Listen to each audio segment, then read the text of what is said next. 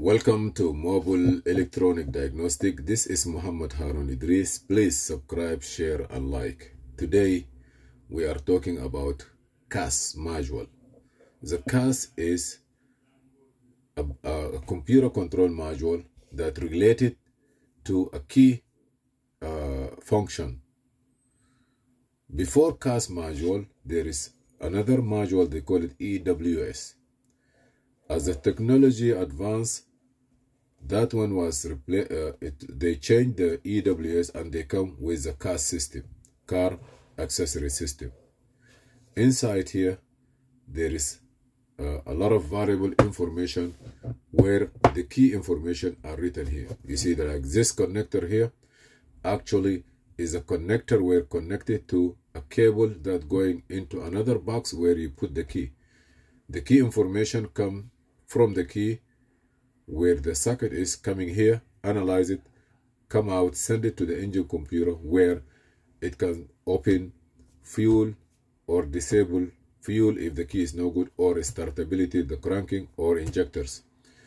Uh, this for BMW and Mini. Mini Cooper also use the same CAS module. If the car, if the key, it, the file for making the key is already uh, stored in the headquarter of BMW. Like right now, if you lost the key, you go to the dealer and you say, look, this is my car. I lost the key. I need another key. They just take the proof of ownership. Uh, I get confused. I'm sorry. Uh, somebody called me and I don't know where I was. So the dealer have the software. You give him the information, the proof of ownership, and you go back and you go you, after two days they order it and it's ready to go. You just put it in the car and start. This is one way. The second way is there is a lot of functionality. Like if you need uh, there are some tools aftermarket tools that they do more function inside EPROMs for example if you lost the key and you have no way to make a key or the dealer say they don't have it or uh, or if you wanna the aftermarket locksmith people they have a different way of doing the the key for this one. How they do it? They are going to open the sorry. You're going to bring it to them. There is a lot of programmer there on the market okay? Be careful if you're using a knife don't cut your don't, don't do not cut your hand. This just maybe for warranty purposes. If somebody open it maybe they know that somebody opened it. I believe so if not, they will not spend all this money here. Okay, now to take this one out is very simple. Get a screwdriver. You see here, and check this one here too. Be careful, do not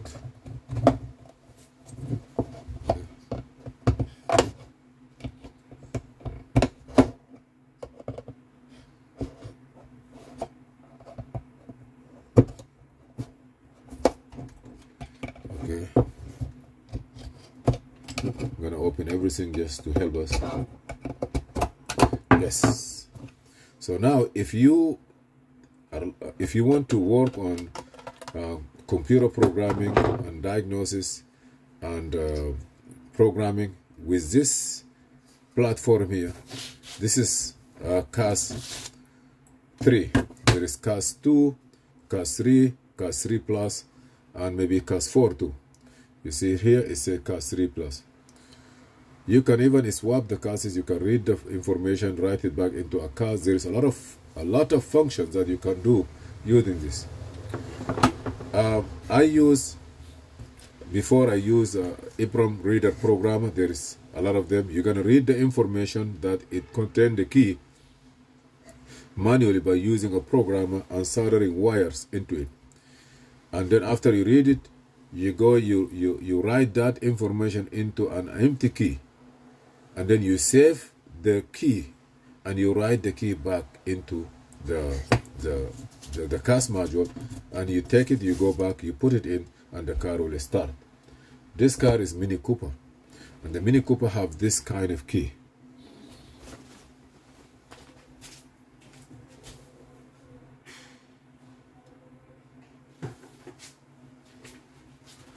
You see, this is Mini Cooper. It has this kind of key. And it will work from 2008 all the way to 2013 14 as long as it is um, as long as it is uh, CAS 3 the Mini Cooper have this remote. You put the key inside sliding it and it will work here inside this place is where you can get the mechanical key. After you read the information after you read the information you see it holds it hold it here so when you push this it release release release the, the holding from this place here and the key go out. Inside this dump it have a mechanical key code is in is available inside. You read this one you write it back and it's the same way that you do it. It is for other BMW keys like you will get the same CAS module and the key could be like this.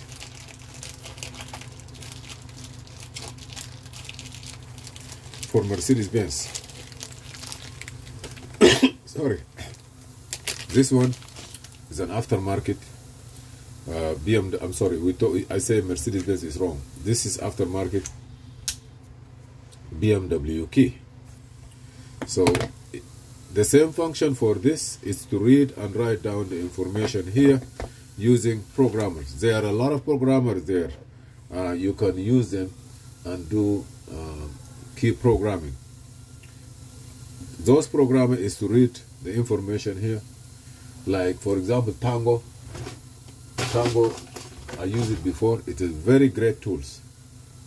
You can read the information with any uh, EEPROM reader we call it EEPROM reader and open Tango put the key here write down the, the information into the key and then save the file and go back and write down the file back into CAS 3 or CAS 3 plus.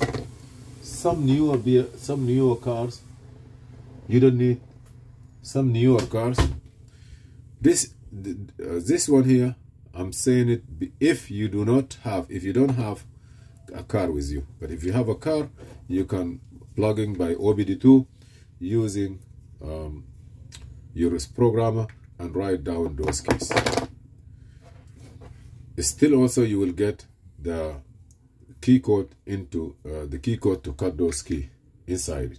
But the newer CAS 4 and plus or the FEM there is another module also. That one you cannot get it it's not avail it's not available.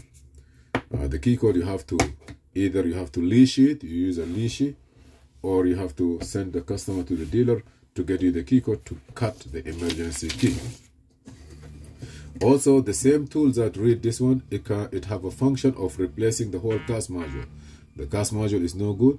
You you will be able to read the information um, from the old one if you are able and then code it or make the key for this one if you know like you can make a new key or some functions and then you write this CAS into the the CAS SKU into the engine computer or the engine computer SKU back into the CAS.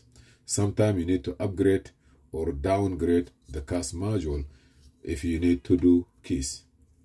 So our job today is to come here and look for a little bit of connection and we will try to read the information out of here, write it down and prepare the key. And then when you go with the key you just put it into the car and the car will crank and start and you're good to go. My what we learn from here is are we can we program the key into the cars even the car is not there? Yes can we program the key into the car if the key is available. If you want key to add it yes that you can do it. If this CAS module go bad we will be able to replace it. Okay uh, for now this is uh, the the information that we have it. I was sorry i was talking and somebody interrupted me. I forget what i'm talking about. In the next video i am going to use uh, this tool here maxi 6 there is a lot of tools but i'm to use maxi 6 with its programmer which is this one here. I'm gonna connect this to Maxi 6 and I will follow the step and I will solder wires like before on this system here.